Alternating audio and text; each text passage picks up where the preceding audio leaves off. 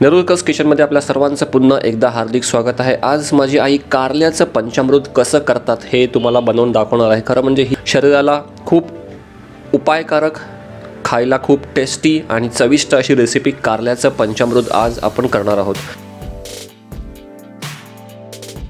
साहित्य काय आहे हे आपण सर्वात पहिलं समजून घेऊ. एक कारला आपण घेतलेला आहे एक बारीक वाटी चिंच एक चमचा हळद दोन चमचे मीठ मोठा एक चमचे तीळ म्हणजे एक चमचे एक मोठा चमचा तीळ घ्यावा. दोन चमचे जवळपास दोन ते तीन चमचे गूळ घ्यावं.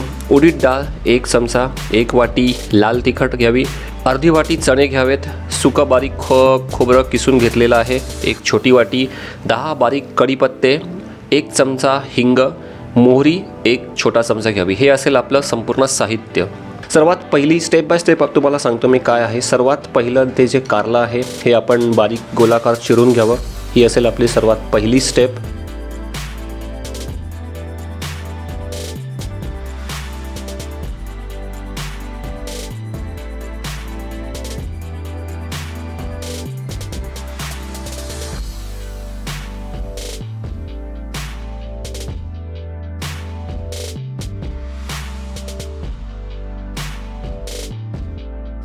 आता ही जी कारली आहे थोडंसं चवीनुसार मीठ लावून त्याला त्याचं एक पाणी निघेपर्यंत त्याला थोडंसं बारीक करावं दाखवल्याप्रमाणे.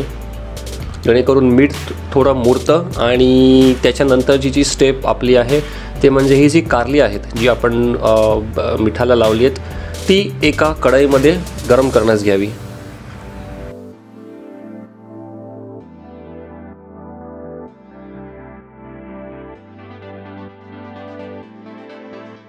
थोडंसं तुम्ही पाहू शकता एवढं पाणी याच्यामध्ये टाकावं आणि एक दोन ते तीन मिनटं हे गरम करावीत थोडी ढवळावीत जेणेकरून ते पाण्यामध्ये एकजीव होतील आणि अशा प्रकारे त्यांचा एक उकळी आल्यावर हे तुम्ही वेगळं काढून घ्या.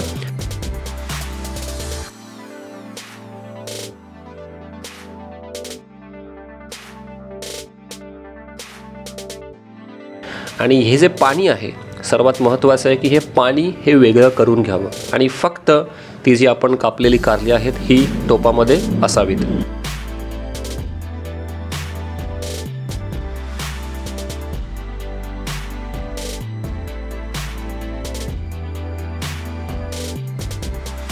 आता नंतरची जी स्टेप आहे याच्यामध्ये फक्त चार गोष्टी आपण एकत्र कढईमध्ये घेतो आहेत. ते म्हणजे तीळ उडीद डाळ किसलेलं खोबरं आणि अख्खे चणे. हे जे चार या चार गोष्टी आहेत याच घ्याव्यात स्टेप टूमध्ये आणि एक जवळपास एक दोन तीन मिनटं गरम होईपर्यंत कढईमध्ये या परताव्यात.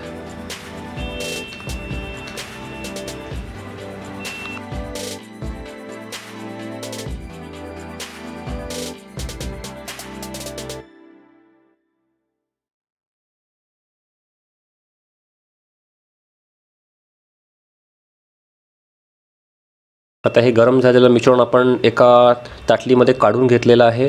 ही झाली आपली स्टेप नंबर टू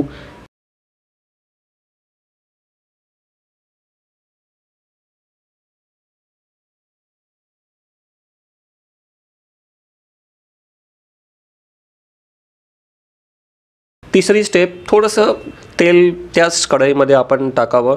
आणि तेल थोडं गरम होईपर्यंत जी कारली आपण कापलेली आहेत त्यांना आता मिक्सरमध्ये प्रोसेस करावं.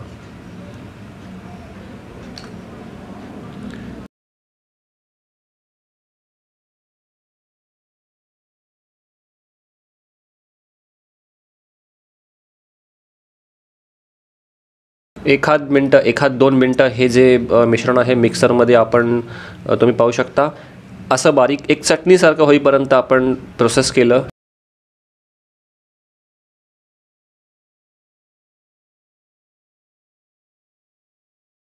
आणि आता जे तेल आपण गरम करण्यास ठेवलं त्याच्यामध्ये मोहरीची डाळ कढीपत्ता आणि कारल्याचं जे मिश्रण आपण बारीक केलं.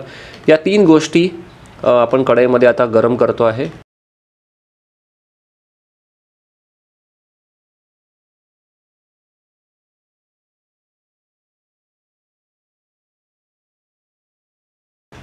आणि एक जवळपास एक दोन तीन मिनटं या गोष्टी गरम कराव्यात कढईमध्ये मिडियम अशा गॅसवर.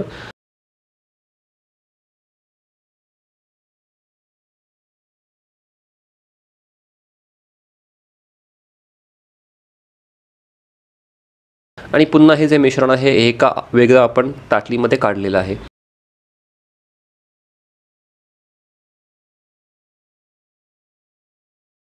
आता चौथी स्टेप पुन्हा एकदा तेल आपण पाहू शकता एवढं तेल घेतलेलं आहे. आणि हे तेल गरम होईपर्यंत पुन्हा ज्या चार गोष्टी आपण गॅसवर कढईमध्ये गरम केल्या तीळ उडदाची डाळ खोबरं आणि अख्खे चणे ते आणि कारलं जे बारीक केलं मिक्सरमध्ये ते पुन्हा या सर्व गोष्टींची पुन्हा एकदा मिक्सरमध्ये आपण आता प्रोसेसिंग करू जेणेकरून एक चटणीसारखं त्यांना एक बारीक असं लुक येईल. पाहू शकता तुम्ही.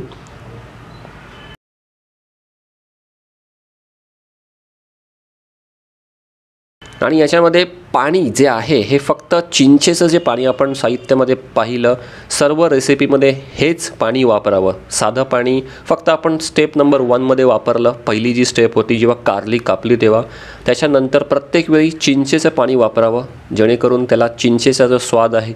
आणि रेसिपी ज्या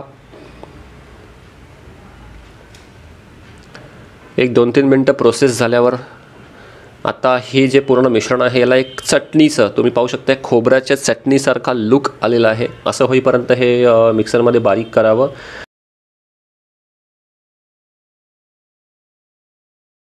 जे आणि जे तेल आपण ठेवलं होतं गॅसवर गरम करण्यासाठी त्याच्यामध्ये पुन्हा एकदा मोहरीची डाळ कढीपत्ता हळद आणि हे जे मिश्रण आहे जे आत्ता आपण बारीक केलं चटणीसारखं हे मिश्रण टाकून ते ढवळावं. थोडासा फास्ट व्हिडिओ करत आहे मी त्यामुळे खूप जास्त मोठा होणार नाही.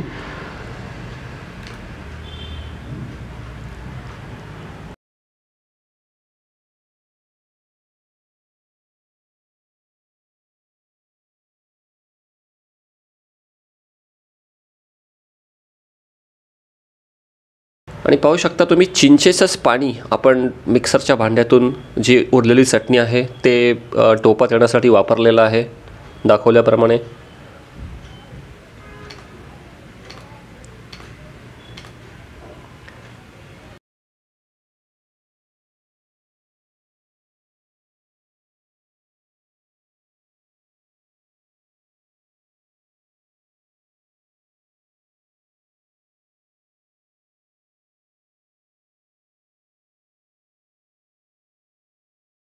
आणि आता राहिलेलं साहित्य म्हणजे मीठ गूळ हे आपण त्याच्यामध्ये मिक्स करून घ्यावं.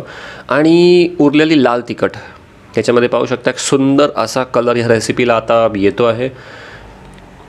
थोडी जी चिंच आहे याचा पुन्हा एकदा थोडंसं पाणी लाल तिखट जे भांड्या भांड्यामध्ये आपण ठेवलेलं त्याच्यातून घ्यावं. आणि ओवरऑल जसं तुम्ही आता व्हिडिओमध्ये पाहता आहात तसं एक लिक्विड होईपर्यंत किंबहुना लिक्विड होईपर्यंत हे मिश्रण ढवळावं आणि एक वेळ असा येतो की या पद्धतीने या मिश्रणाला उकळी येते आणि ही अशी उकळी आली म्हणजे आपली फायनल रेसिपी तयार. तर हे आहे मित्रांनो कारल्याचं पंचामृत. नक्की एकदा करा. खूप चविष्ट खूप स्वादिष्ट आणि खूप शरीराला हे गुणकारी असतं. आणि एक औषध तुम्ही एक या रेसिपीला समजू शकता. नक्की करा रेसिपी व्हिडिओला लाईक करा शेअर करा आणि चॅनलला सबस्क्राईब करा.